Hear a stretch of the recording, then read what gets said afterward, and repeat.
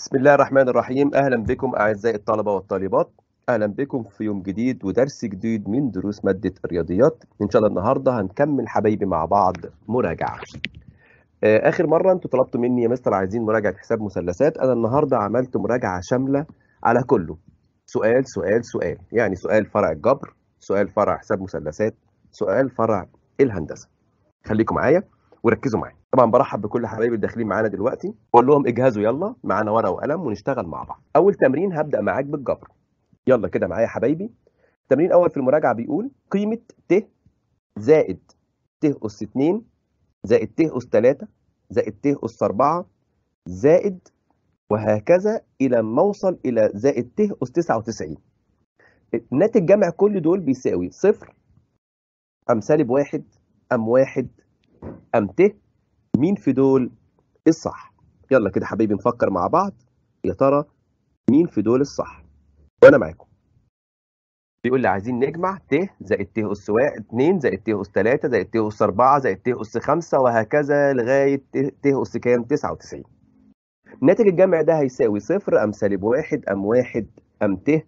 مين في دول الصح؟ يلا كده حبايبي جاهزين؟ آه مستر حضرتك قلت لنا الحلقة اللي فاتت أنا قلت إن مجموع كل أربعة متتاليين بصفر. المفروض كل أربعة بصفر. يبقى لو كان الناتج الأخير يقبل الاسم على الأربعة يدينا الصفر. بس أنا عندي الناتج الأخير ما يقبلش الاسم على الأربعة 99 اذا مش بصفر. طب نعمل إيه عشان نخليه يقبل على الأربعة؟ قال لي محتاج واحدة كمان ت اس 100 قال لي طب ما تيجي نزود ت اس 100 وننقص ت اس 100 يعني أعمل كده؟ بحيث أظبط مسألتي بالمنظر ده. هقول يبقى ت زائد ت اس 2 زائد ت اس 3 زائد ت اس 4 إلى ت اس 100 اللي أنا زودتها هرجع أنقصها تاني. كده يا مستر لغاية هنا بصفر. من أول ت إلى ت اس 100 بصفر. فيتبقى سالب ت اس 100 أنا عارف إن ت اس 100 بواحد. الاس يبقى الاس يقسم على الأربعة. يبقى الناتج يطلع سالب واحد يا مستر. أهو. طبعا هنا كل أربعة ورا بعض ت مع سالب ت بصفر وسالب واحد مع موجب واحد بصفر فيتبقى عندي في الآخر مين؟ سالب ت أس إيه؟ أس 100 المجموع عندي هيبقى صفر ناقص واحد يدينا سالب واحد يبقى نختار سالب واحد يلا كده حبايبي السؤال التاني مع بعض نراجع مع بعض بقى حساب مثلثات السؤال التاني بيقول لي هنا طبعا خدناها قبل كده. أنا براجع معاك اللي إحنا خدناه قبل كده عشان تفتكر معايا. بعد كده نبدأ ندي أسئلة فيها شغل شوية. بس افتكر بس معايا إحنا خدنا إيه. السؤال اللي بعده بيقول في الشكل المقابل آه الشكل ده يعبر عن زاوية ه ك د الموجهة. دي زاوية ه ك د الموجهة. تمام؟ قول لي كده يبقى الضلع الابتدائي مين والضلع النهائي مين؟ لي استنى يا مستر. انت بادئ منين؟ قال لي بادئ من ه ثم كاف د يعني معنى كده إن الضلع الابتدائي كاف ه والضلع النهائي كاف د ممكن أعمل السهم كده؟ قال لي آه أهو السهم جاي من هنا ماشي كده. ده اتجاه. يبقى الزاوية الموجهة ليها ضلع ابتدائي وليها ضلع إيه؟ ضلع نهائي. تمام؟ يبقى مستر كده أنا عرفت. أهو يبقى الضلع الابتدائي معايا. هيبقى كاف ه والضلع النهائي كاف د بالمنظر ده. آدي الضلع الابتدائي وآدي الضلع النهائي. يبقى هنا أقول له كاف ه وكاف د ده الحل بتاعي. يا رب نكون فهمنا السؤال اللي بعده. مضلعان متشابهان. النسبة بين طولي ضلعين متناظرين فيهما 3 إلى 4 فإذا كان محيط الأصغر 15 سم فإن محيط الأكبر بيساوي كام؟ يلا معايا كده مع بعض دي هندسة. قلنا هنا إن طالما المضلعين متشابهين يبقى النسبة بين طولي ضلعين متناظرين بتساوي النسبة بين محيطي المضلعين يبقى أنا هكتب كده عندي إن محيط المضلع الأصغر على محيط المضلع الأكبر هيساوي ضلع على نظيره. تمام؟ طبعا خلي بالك النسبة الصغيرة فوق والكبيرة تحت. أنا كتبت الصغير على الكبير يبقى آخد نسبة صغيرة على نسبة كبيرة. اوعى تعكس. انت بتقول لي محيط الاصغر 15 ومحيط الأكبر مش موجود يبقى أكتب 15 على محيط الأكبر بيساوي 3 على 4 حاصل ضرب الطرفين يساوي حاصل ضرب الوسطين. يبقى محيط المضلع الأكبر هقول له بيساوي 15 في 4 على التلاتة هيساوي 20 أعلم على ال 20 يبقى اختار 20 يا رب نكون فهمنا. أنا همشي معاك سؤال بسؤال. جبر حساب مثلثات. هندسة هراجع لك كل القديم اللي خدناه قبل كده اللي فاكر معايا واللي حضر معايا كتير هيراجع معايا كويس بحيث لما نيجي نحل في النماذج أو في المسائل التانية اللي هي التقيلة يبقى أنت مركز معايا. ننتقل إلى سؤال تاني مع بعض. يلا بينا مع بعض السؤال التاني. يلا نفكر. بيقول لي س أس 2 زائد 16 يساوي صفر. دي معادلة. عايزين نجيب مجموعة الحل بس فين؟ في الأعداد المركبة. يا ترى الحل يطلع 4 أم سالب 4 و4 أم سالب 4 ت و4 ت أم فاي. أنا بتكلم في أعداد مركبة. لو بتكلم في ح كنت قلت فاي. ما ينفعش س تربيع زائد. لكن لما أتكلم في أعداد مركبة لا ينفع مع بعض. يلا كده فكر وقول لي نعمل إيه وأنا معاك. مستر دي معادلة هنحلها مع بعض. يلا نحل مع بعضنا هنقول له س تربيع. س تربيع هتساوي سالب 16 يبقى أول حاجة اتخلصنا من ال 16 وديناها الناحية التانية بمعكوسها الجمع يبقى س تربيع بتساوي سالب 16 هناخد الجذر التربيعي للطرفين يبقى إذا السين هتساوي موجب أو سالب جذر السالب 16 قال لي يا مستر أي سالب جوه الجذر بيخرج بت؟ يبقى 16 جذرها 4 والسالب هيخرج بره بت فأقول له موجب أو سالب 4 ت. إذا مجموعة الحل تكتب سالب 4 ت وموجب 4 ت أختار الإجابة رقم ج طبعا كل حبايبي أكيد هم حلوها قبلية وسابقوني وأنا عارف. تمام. تعالوا كده مع بعض. ننتقل إلى سؤال حساب مثلثات. يلا بينا مع بعض. يلا بينا يا مستر. سؤال حساب مثلثات. الزوج المرتب واو ب وواو ج يمثل الزاوية الموجهة مين في دول؟ اتفقنا أن الزاوية الموجهة لازم ضلع ابتدائي وضلع نهائي. مين في دول الاختيار الصح؟ قال لي يا مستر من غير ما أشوف هنا أنا هجاوب من هنا. رأس الزاوية هو واو حرف المتكرر. انت بادئ منين؟ بادئ ب يبقى ابدأ من ناحية ب. أقول يبقى الزاوية اسمها ب. واو ج يا مستر. يبقى الاختيار رقم إيه؟ قال لي ب. واو ج آه ما فيش عندي غير اختيار رقم أهو رقم ب. واحد ذكي قال لي يا مستر أنا شايف إن حرف الواو اللي متكرر ده رأس الزاوية المفروض يكون في النص. أنا شايف الاختيار الوحيد اللي فيه واو في النص هو ده مفيش غيره. الباقي كله لأ. خلاص هختار رقم ب. هي دي الصح. مظبوط. يبقى أنت لماح. تمام. ده سؤال حساب مثلثات. أنا بادئ معاك من بداية حساب المثلثات من الأول خالص. يعني اللي ما كانش موجود معانا في الشرح يركز معانا في المراجعة هيفهم أكتر. نكمل مع بعض؟ نكمل مع بعض. يلا بينا. السؤال اللي بعده هندسة. في الشكل المقابل بيقول لي المستطيل أ ب ج د يشابه المستطيل س ب ص ل دول متشابهين. فإن طول ص ج يساوي كام سنتي؟ عايز أعرف ص ج ده بيساوي كام سنتي ومديني اختيارات. برضو على التشابه. طب نعمل إيه؟ تعالوا كده نشوف مع بعض نعمل إيه. يلا بينا مع بعض. أول حاجة يا مستر أنت مديني تشابه. طب أعمل هنا إيه؟ قال لي أستخدم التشابه. قال لي مستر أقول بما أن المستطيل الأول يشابه المستطيل الثاني تمام. يبقى اذا كل ضلع أقول له كده يبقى الطول على الطول يساوي العرض على العرض عشان متشابهين. يبقى ا ب على س ب هيساوي ب ج على ب ص وهكذا. أقول له ا ب على س ب بيساوي ب ج على ب ص بس مش عايز غير دول. يبقى أنا خدت هنا خلي بالك بناخد بالترتيب أول وتاني مع أول وتاني. تاني وتالت مع تاني وتالت وهكذا. أصبح عندي من التشابه إن في تناسب إن ا ب على س ب يساوي ب ج على ب ص تمام؟ عوض. ا ب بكام؟ قال لي يا مستر ما هو ا ب من خواص المستطيل بيساوي د ج يبقى 6 سم يبقى هكتب هنا 6 سم تمام؟ طيب. وب ج طبعا هنا خلي بالك س ب قال لي يا مستر س ب انت قلت لي ب 2 سم يبقى أنا هكتب 2 سم يبقى أنا هكتب هنا 6 على 2 يساوي ب ج قال لي ب ج من خواص المستطيل بيساوي أ د يبقى 12 سم على ب ص مش موجود. يبقى 6 على 2 يساوي 12 على ب ص حاصل ضرب الطرفين يساوي حاصل ضرب الوسطين. يبقى ب ص هتساوي 2 في 12 على الستة.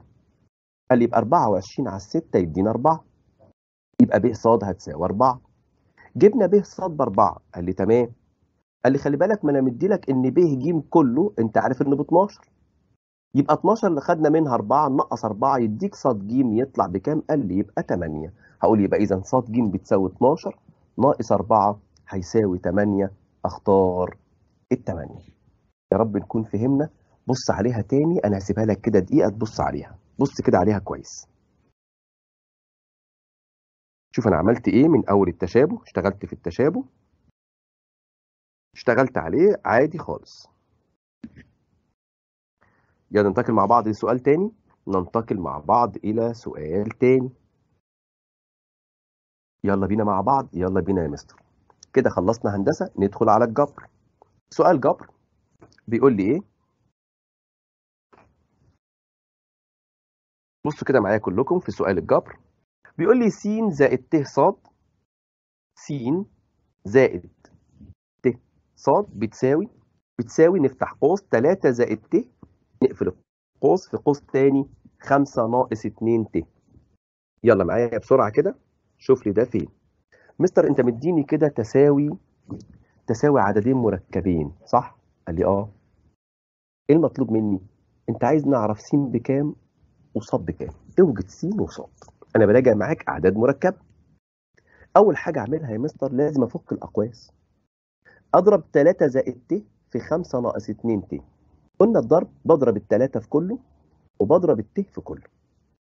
هقول 3 في 5 ب 15 وت في سالب 2 ت بسالب 2 ت تربيع.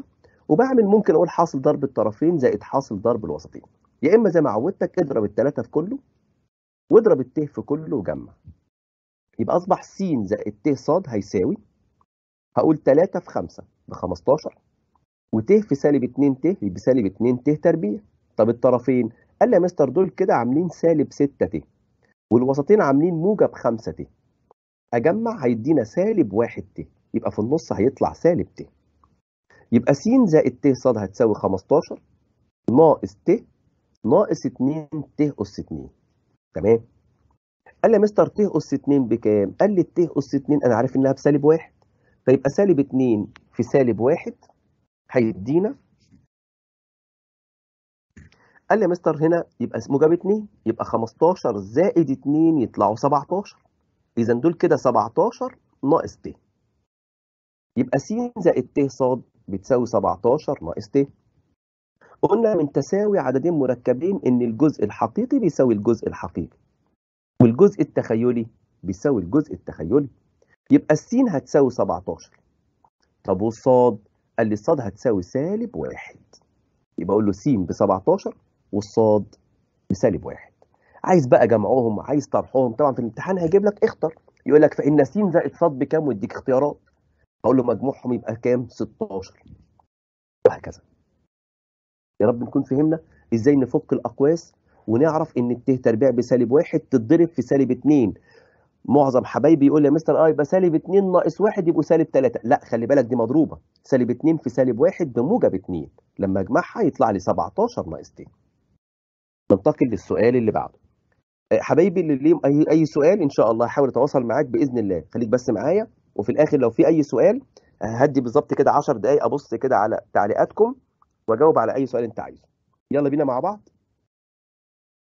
يلا بينا. كده خلصنا جبر. ندخل بقى على حساب مثلثات. بيقول لي في الشكل المقابل هسيبها لك أهي. أوجد قياس الزاوية الموجهة سيتا الزاوية الموجهة سيتا في الشكل المقابل. مديك هنا 310 وجوه سيتا قول لي السيتا بكام؟ يلا يا سيدي. سيتا بكام؟ اشتغل كده معايا. وقول لي سيتا بكام وأنا هفكرك دلوقتي. كده كده أنا هفكرك بسيتا بكام بيقول لي اوجد سيتا. أقول له حاضر. مستر أنت قلت لنا قبل كده. مستر خلي بالك الزاوية دي في اتجاه عقارب الساعة.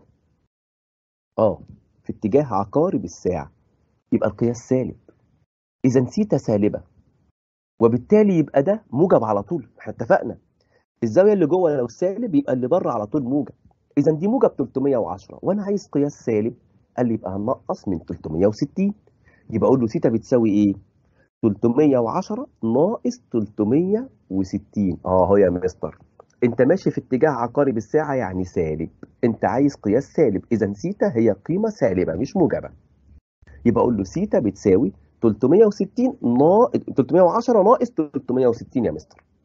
يدينا سالب 50 سالب إيه؟ 50 تمام؟ طلع سالب 50 خلاص هختار يا مستر سالب إيه؟ سالب 50 تمام. اللي بعده. السؤال اللي بعده هننتقل إلى الهندسة. سؤال جميل قوي أهو في التشابه. في الشكل المقابل بيقول لي إذا كان المثلث ا ب ج يشابه المثلث ا ه د. فإن فإذا كان قياس زاوية ب بتساوي 3 س زائد 10 وقياس زاوية ا ه د بتساوي س زائد 30 فإن قياس زاوية ا تساوي كام؟ مديني اختيارات. خلي بالك دول مثلثين مثلث قائم والكبير قائم. المثلث ده يشابه المثلث ده. مديني زاوية ب أهي ب دي عبارة عن 3 س زائد 1 ومديني زاوية ه اللي في المثلث الصغير دي عبارة عن س زائد 30 وبيقول لي اوجد قياس زاوية أ ومديني اختيارات. سؤال جميل قوي سؤال حلو بتاع امتحانات. هقول له إيه؟ اولا مستر من التشابه ينتج إن كل زاوية في الأول تساوي نظرتها في الثاني ألف مشتركة صح؟ طب والب قال لي الب تساوي اله بس أنا عايز دي. حلو قوي مستر قياس زاوية ب تساوي قياس زاوية ه يعني الاثنين دول بيساووا بعض يا مستر. يبقى أنا هساوي مين؟ قال لي هساوي 3 س زائد 10 س زائد 30 دول بيساووا بعض من التشابه. هي دي أهم خطوة عندي. اهي يا مستر. بما أن المثلثين متشابهين إذا قياس زاوية ب تساوي قياس زاوية ا ه د. يبقى 3 س زائد 10 بتساوي س زائد 30 هنجيب السين مع السين بمعكوسها الجمعي نقول 3 س ناقص س يعني 2 س. هتساوي 30 ناقص 10 يدينا 20 بالقسمة على 2 أو الضرب في معكوس الضرب للاثنين تطلع السين بتساوي 10 يا مستر. جبنا السين ب 10 يبقى جبت ب وجبت ه براحتي أجيب أي واحدة فيهم. يبقى اله بكام؟ هقول له اله عبارة عن 10 زائد 30 تطلع اله دي ب 40 يا مستر. في المثلث الصغير في زاوية ب 40 وفي زاوية ب 90 يبقى زاوية أ بكام؟ قال لي الباقي من 180 يطلع 50 أو نقول طالما دي 90 يبقى الاثنين دول ب 90 يبقى نقول 90 ناقص 40 يدينا 50 يا مستر. يبقى نعلم على ال 50 يا رب نكون فهمنا. سؤال حلو سؤال جميل قوي بتاع امتحانات. تمام؟ تمام. أي استفسار عندك أي تعليق أنا معاك بس في الآخر مش دلوقتي. نلحق بس وقتنا. يلا نكمل مع بعض. ندخل على السؤال جبر. إذا كان س زائد ص ت بتساوي جذر سالب 50 فإن الزوج المرتب س وص يساوي نقط ومديني اختيارات. يا ترى 5 جذر 2 وصفر أم صفر وخمسة جذر 2 أم سالب 5 جذر 2 وصفر أم صفر وسالب 5 جذر 2 مين في دول الصح؟ هقول له حاضر. مستر أنت بتقول لي عدد مركب يساوي المفروض عدد مركب. آه بس الصورة دي مش عجباني يا مستر. أمال نعمل إيه؟ قال لي نجيبها. ما انت قلت من شوية يا مستر إن أي سالب جوه الجذر بيخرج بت إذا السالب ده هيخرج بت لما امسك الآلة وأجيب جذر ال 50 أو من غير آلة ال 50 عبارة عن 2 في 25 نطلع بره ال 25 جذرها 5 فيبقى 5 جذر 2 إذا ده كده عبارة عن 5 جذر 2 ت. يبقى أصبح عندي س زائد ص ت بيساوي 5 جذر 2 ت. آدي الخطوة الأولى. مستر ممكن أعملها آلة حاسبة ممكن تعملها بالآلة عادي خالص. بنظام مين؟ بنظام ال imagine تخيلي. اللي هو ال complex. يبقى س زائد ص ت هتساوي لما تحول نظام الآلة إلى ال complex بتاعك هتجيب لك 5 جذر 2 ت. كده عدد مركب بيساوي عدد مركب يبقى الجزء الحقيقي بيساوي الجزء الحقيقي. والجزء التخيلي بيساوي الجزء الإيه؟ التخيلي. تمام؟ تمام. قال لي يا مستر أنا عندي هنا مفيش جزء إيه مفيش جزء مفيش جزء حقيقي. يبقى السين بصفر. السين بصفر. لكن في جزء تخيلي يبقى الصاد بخمسة جذر اتنين. إذا السين بصفر يا مستر والصاد بخمسة جذر اتنين. يراعى الترتيب أنت عايز سين وصاد ولا عايز صاد وسين؟ بص كويس. ممكن في الامتحان يلخبطها لك يقول لك عايز صاد وسين. لا هو عايز سين وصاد. يبقى السين بصفر والصاد بخمسة جذر اتنين. قال لي صفر وخمسة جذر اتنين يبقى اختار رقم ب. يا رب تكون حبايبي فهموا أنا جبتها إزاي وعملت إيه. الجزء الحقيقي بيساوي الجزء الحقيقي الجزء التخيلي بيساوي الجزء التخيلي. اللي فيه ت يساوي اللي فيه ت. يبقى الصاد بخمسة جذر اتنين. اللي أول مرة يسمعني النهاردة يركز معايا أو هيفهم إن شاء الله. يبقى نختار إيه يا مستر؟ نختار الإجابة رقم ب. تمام. ننتقل إلى السؤال اللي بعده. ده سؤال جبر. يبقى اللي جاي هنخليه حساب مثلثات. يلا معايا. إحنا لسه في أول درس في حساب مثلثات الزاوية الموجهة والقياس الزوايا المتكافئة وهكذا. أهو بص السؤال بيقول لي إيه؟ السؤال بيقول ده خدناه قبل كده وحليناه مع بعض كتير وحبايبي كلهم هيقولوا يا مستر إحنا عارفينه. أنا معاكم. يلا. إذا كان 3 س ناقص 5 أصغر قياس موجب. إذا كان 3 س ناقص 5 أصغر قياس موجب.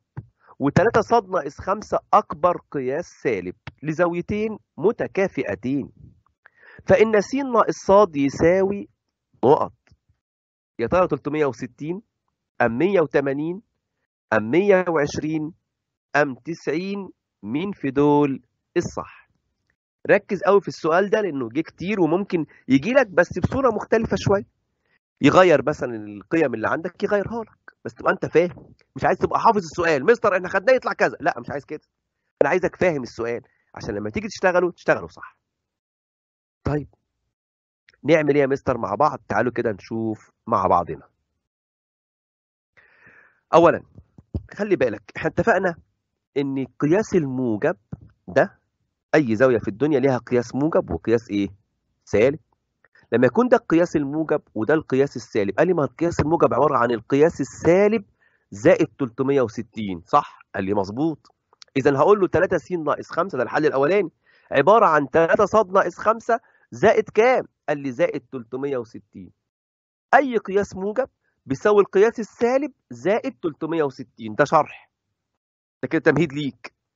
اللي لسه أول مرة يحضر معايا. أي قياس موجب عبارة عن القياس السالب زائد 360 بس بشرط يكون أصغر قياس موجب وأكبر قياس سالب. طبعا. أصغر حاجة في الموجب. ما يكونش معدي الدورة. أصغر قياس موجب يساوي أكبر قياس سالب أهو زائد 360 وماله؟ تعال بقى نطبق الكلام ده على اللي هو مديهوني. يبقى أقول له خلاص بقى احذف ده. ونقول له إيه؟ يبقى 3 س ناقص 5 بتساوي 3 ص ناقص 5 زائد 360 مظبوط. قال لي يا مستر ما هي الخمسة بالسالب تروح مع الخمسة بالسالب. اهم لما تعدلها هيبقى معكوسها. راحت. إذا 3 س لو دخلت لها ناقص 3 ص هيساوي 360 يبقى الخمسة سالب 5 تختصر مع السالب 5 والتلاتة صاد تدخل جوه جنب السين يبقى 3 س ناقص 3 صاد هيساوي بره مين؟ 360 ما تيجي نقسم على التلاتة عشان نجيب س ناقص صاد. قال لي بالقسمة على التلاتة يبقى س ناقص صاد هيساوي 120 يا مستر. تمام؟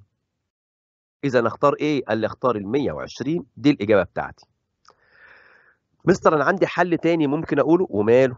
قول الحل التاني. إيه الحل التاني يا سيدي؟ تعالى كده نشوف مع بعض. قال لي يا مستر أنا أعرف ان أنت قلت لي من شوية القياس الموجب القيمة المطلقة للقياس الموجب زائد القيمة المطلقة للقياس السالب يساوي 360 قال لي آه مظبوط. طب ما تيجي نعملها كده أهو. القيمة المطلقة لل60 زائد القيمة المطلقة للسالب 300 يطلعوا 360 مظبوط.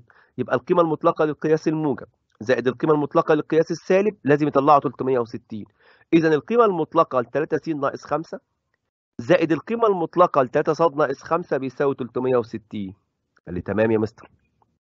خلي بالك. اوعى تنسى الحتة دي. القيمة المطلقة ل 3 س ناقص 5 ده قياس موجب ينزل زي ما هو. لكن القياس السالب قال لي يا مستر ما هو ده كده. خلي بالك القيمة المطلقة هنا بتغير إشارته. لما كان سالب 300 قال لي القيمة المطلقة بتطلعه بالموجب طب ده كده سالب. لازم نغير إشارته. نغير هنا وهنا فيبقى سالب 3 صاد زائد 5 ممكن نقول 5 ناقص 3 صاد.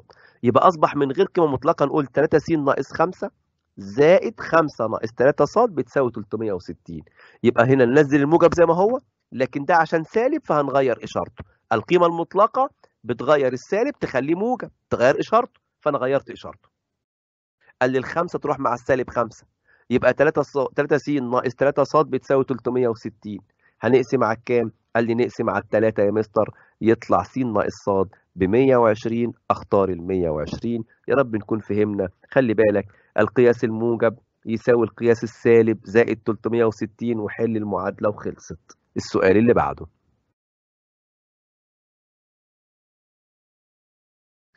خلصنا. سؤال.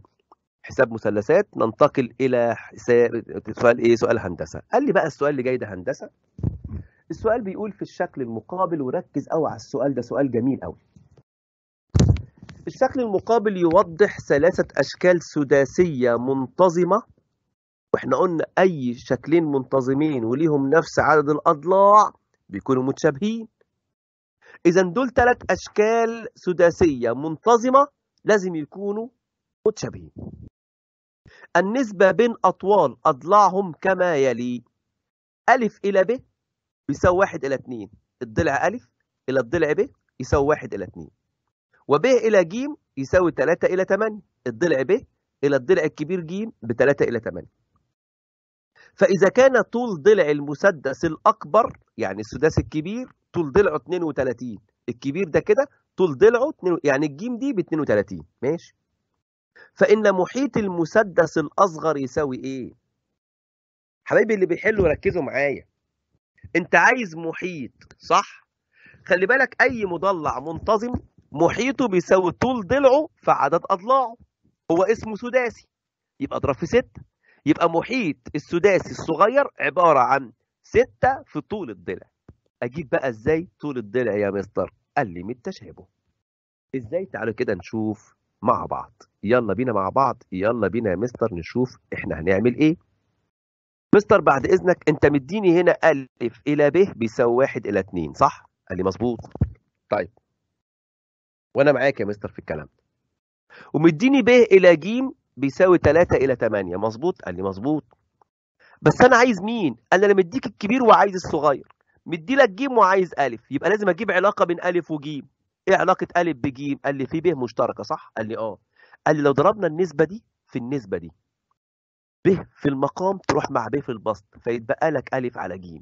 إذا لازم تكون أنت هنا بقى لماح إن خلي بالك أهو أنا مديك ألف على ب ومديك ب على ج يبقى لما أضربهم في بعض الب تروح مع الب فيتبقى ألف على مين على ج. إذا الفكرة هنا إن نضرب النسبة الأولى في النسبة الثانية أهو ألف على ب بواحد على 2 وب على ج بتساوي 3 على 8 حاصل ضرب دول قال لي ب تختصر مع الب فيتبقى ألف على ج تساوي نص في 3 على 8 يعني يطلع كام؟ 3 على 16 يا مستر.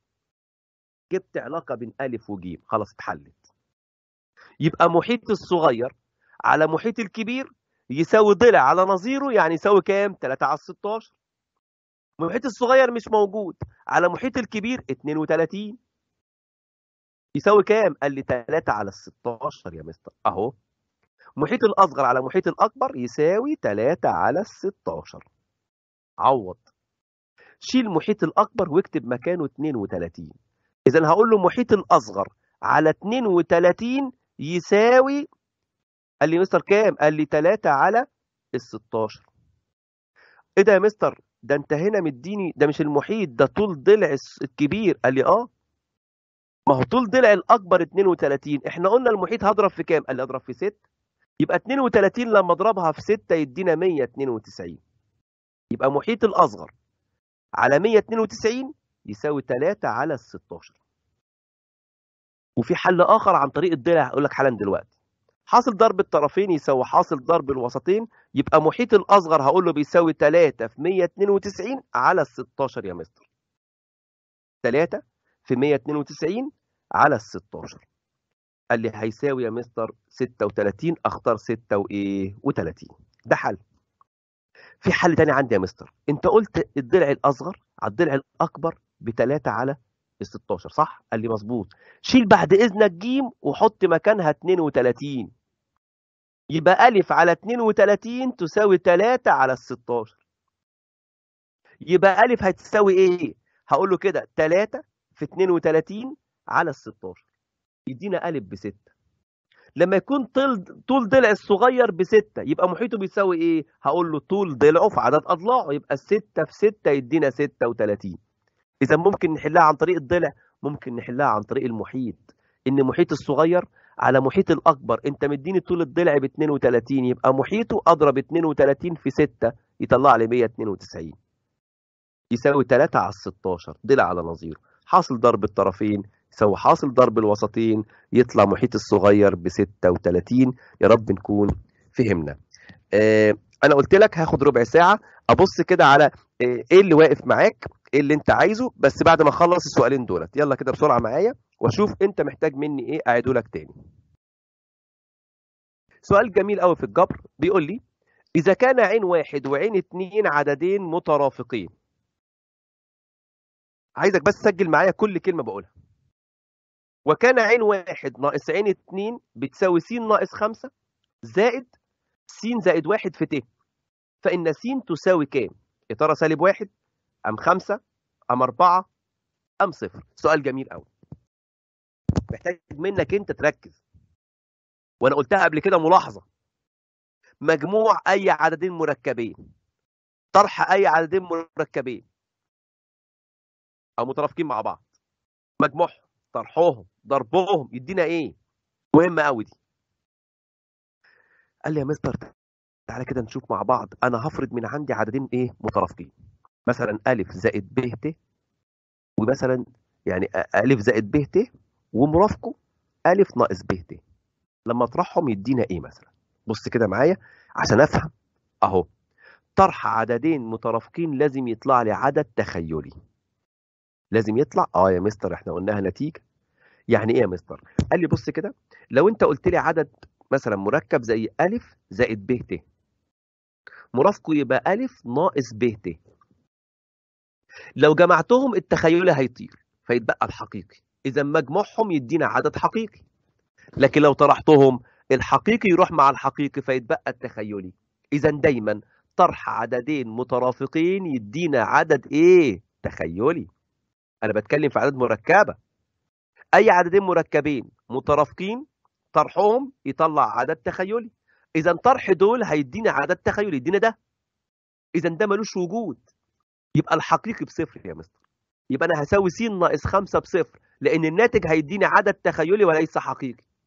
إذا ده ملوش وجود يبقى هنساوي ده بصفر. هقول له يبقى س ناقص 5 بصفر تطلع السين بخمسة اختار الخمسة يا مستر. ننتقل للي بعده لجزء حساب مثلثات كده بسرعة. أهو ده التفسير بتاعه. لو فرضت عين واحد بألف زائد ب ت والمرافق عين اتنين بألف ناقص ب ت. أهو لو جمعتهم التخيلي راح مع التخيلي يديك حقيقي. إذا مجموعهم يطلع حقيقي. طب طرحهم. لما اطرح ده ناقص ده ألف هيروح مع ألف. هيبقى ألف ناقص ألف بصفر. هيتبقى ب ت زائد ب ت. هنغير إشار فيدينا 2 ب ت يعني يدينا عدد تخيلي يا مستر. الحاجات دي مهمة قوي. عايزاك بس تبقى أنت مركز شوية عشان توصل لها سريعا.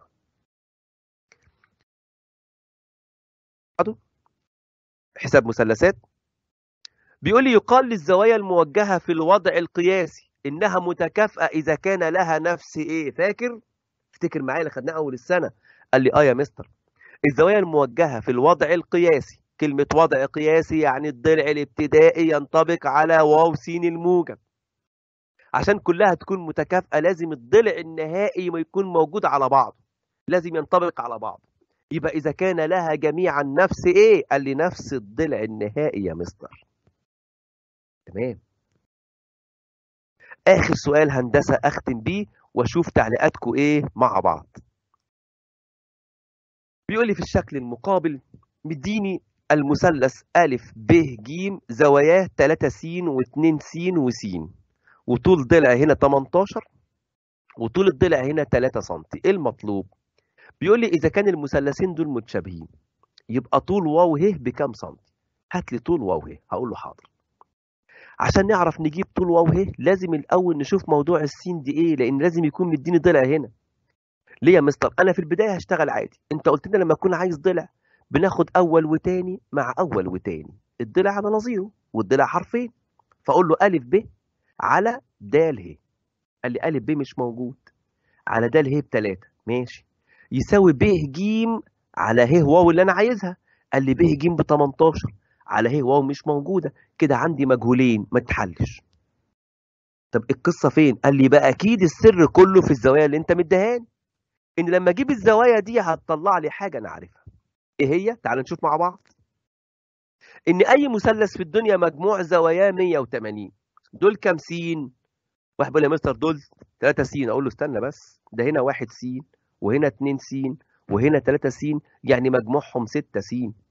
يبقى الستة س بيساوي 180 لما نقسم على الستة تطلع السين ب 30 الله على الجمال. ده طلع كده المثلث فيه 30 60 آه هي دي الفكرة بقى.